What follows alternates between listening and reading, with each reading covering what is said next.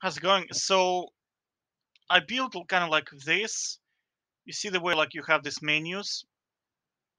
So depending on where you're hovering, the menu box displays different text.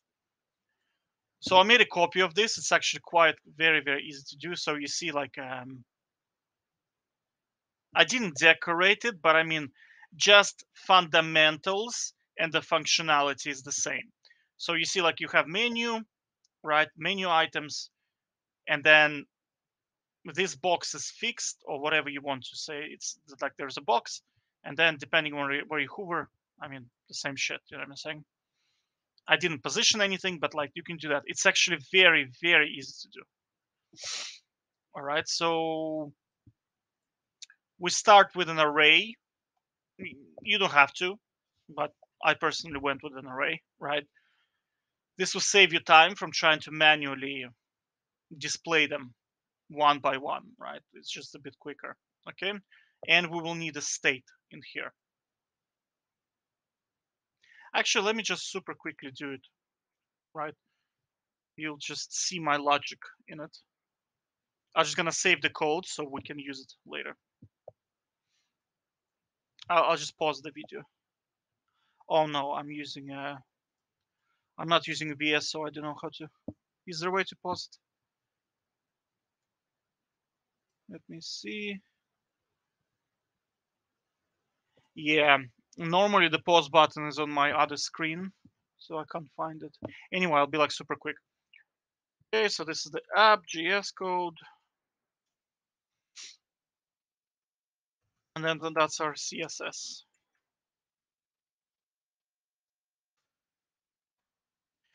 Now, D, DR and D, DB is kind of my thing I do.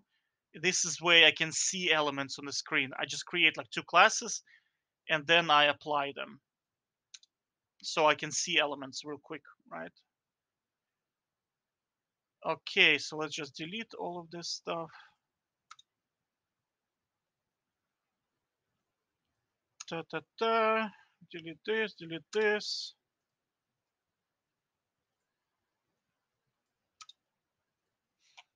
Okay, so the first thing we import the CSS, which is standard, like, um, and I'm using um, SCSS. I'm using a compiler, but you don't have to. You can just use CSS. Okay.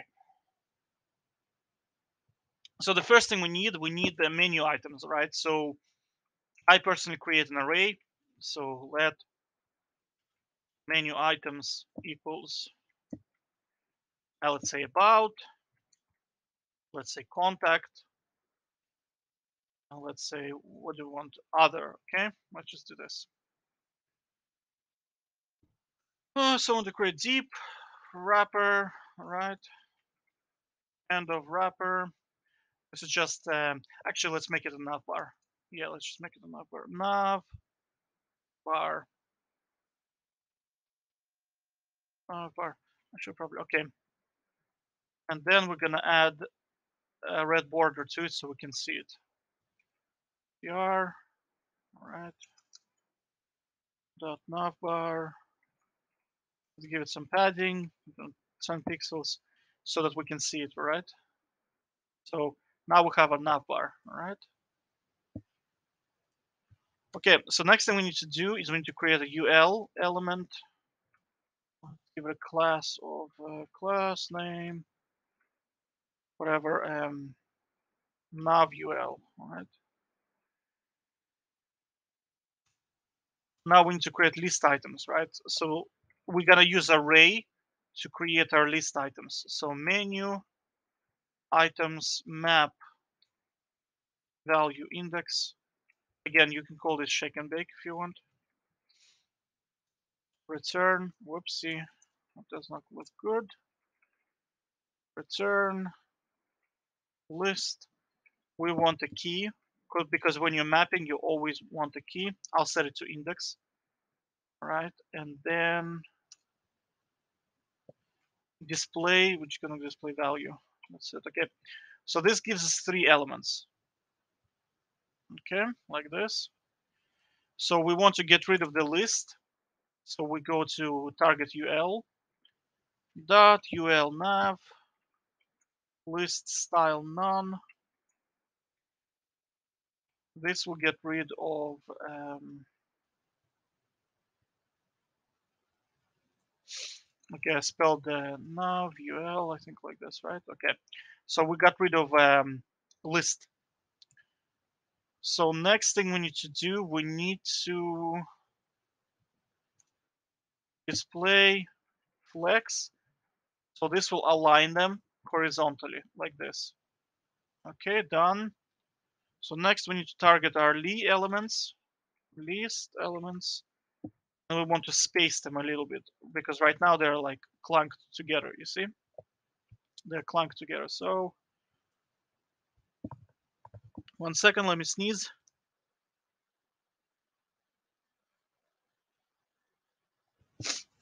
Okay, I'm back. Let's give it margin left 20 pixels. Font size. I don't know, uh, 30 pixels. Let's do this. Actually, let's do 13 here as well. All right, so that's what they look like right now. So next thing we want to do is we want to create a hover effect. So when we hover on them, we want text decoration.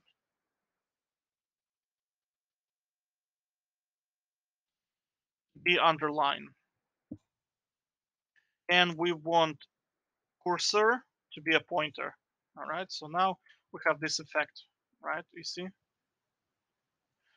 Okay, so next thing what's left to do is we want to create state, right? We want to create state. And state will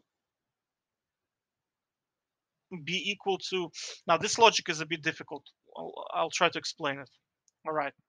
So first thing we need to do, we need to create const state.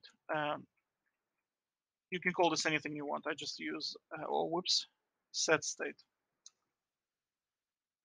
To use state like this. Okay, so we want the state to be equal to about or contact or other or nothing, right? So when it's equal to about, we're going to display about component. When it's equal to contact, we'll display contact component and vice versa, right? And we want to do it on two occasions, right? On two occasions. So when we hover over an element, right? This is mouse enter. So on mouse enter, we're gonna set the state to about. On mouse leave, we're gonna set the state to nothing. So all the components are gonna disappear. Oh, there is the, look, there's the pause button. Anyway, again, we hover over, state becomes contact. We hover over, state becomes other. And when we hover out, state becomes nothing, right? So let's, um, the way to do that is we do like this, on, mouse, enter. Enter, okay. Whoopsie. Like this, like this. Set state, to value. So because we're iterating in the map, value is either about, contact, or other. All right. And then second condition on mouse leave, we are going to set state to nothing. And let's test. So whoopsie, console log state. Okay, does it like is does it like everything? Is is it okay? Okay, good. All right. So now when we hover over about, state becomes about, right? So the state is about. We hover out, it becomes nothing. Hover on contact becomes contact. Hover out, okay. Do you see how it works, right? Okay, good stuff. So now we just need to create three components so let's create component. Ideally, ideally, you want to create components separately, right? Like in a separate folder called components, and then you just import import them and use them. But I mean, because it's so easy, we're just gonna do them in here. Because you have to understand React is just a bunch of functions and you can run functions within functions. So components are just functions. This is why you can just run them. Uh, we're gonna call div um, class. Let's put blue box around them. So db. I'm just basically applying this class here, which is just a blue box to this um, thing. And then let's put h1 element and call this about info. So let's do three of them, change about to, whoopsie. I'm holding alt when I'm multi-selecting. So this is contact. And this will be other, all right? So now we have three components. About, okay, so now we need to set up a condition in here. So if state equals to about, okay, so if state is equal to this, we want to display, this is a, I think it's called ternary operator, like mini ternary operator. So what this does is, if this is true, it will this it will apply whatever condition is going to be in here. So the condition is going to be display about component. Okay, so now this should work. So now if we hover over about, the about component appears. Oh, whoops. We put it in the um, nav bar. That's why it's appearing in nav bar. We need to get rid of yeah, we need to put it in here. Outside of nav bar, then it's going to work correctly. Now we hover over about, about element appears. And when we hover out, because state changes to nothing, it disappears. All right, so finally we need to add two more conditions, which is or, or if state equals to oh, what was another one? Contact, I think, right? Contact. We want to display contact or state equals to other, I think. Other and other, like this. So now I think we've, we've done and then that's about it you have to refresh it a couple of times, otherwise it's gonna complain. Okay, it's saying I made a mistake somewhere. Where did I make the mistake?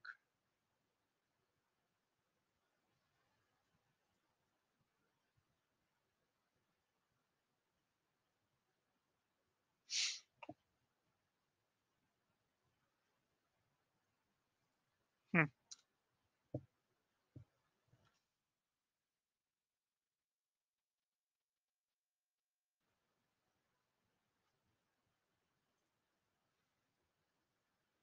Hmm, interesting. Why is it complaining about it? That's not supposed to complain. Not supposed to complain about stuff like that. Yeah, you see, sometimes you want to refresh it a couple of times um, because I have uh, I have a program in the background running, which is called it's an add-on, which is save on input. So you see, every time I type something, um, it kind of saves and saves and saves and saves so this thing sometimes uh, struggles to keep up. So you sometimes have to refresh it a couple of times. All right. So now we click on about, appears, disappears, contact appears, disappears, other appears, disappears, and that's it. And that's pretty much the same thing in here, right? There, in here, of course, you have styling, you have transition, but the fundamental principle is the same. You see, you hover over things and they just appear, right? So we have exactly the same thing. We hover over things and they appear.